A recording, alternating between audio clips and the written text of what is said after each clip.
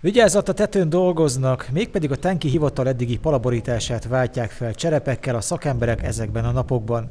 Ahogy Szopkó Tamás polgármester megvilágította, a községháza több szempontból megújulhat pályázati segítséggel Szabó Zsolt országgyűlési képviselő munkája nyomán.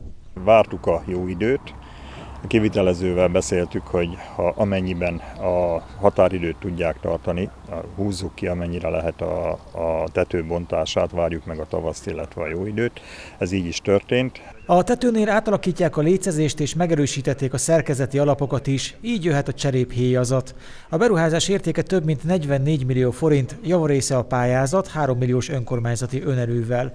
Így újulhat meg a 19. században épült papszáz kúria. A patinás tenki épületek megmentése nagyon fontos a helyi önkormányzat számára, vetette fel Szopkó Tamás. Ez egy 19. században épült épület, a Popszász kastély vagy Popszász kúria.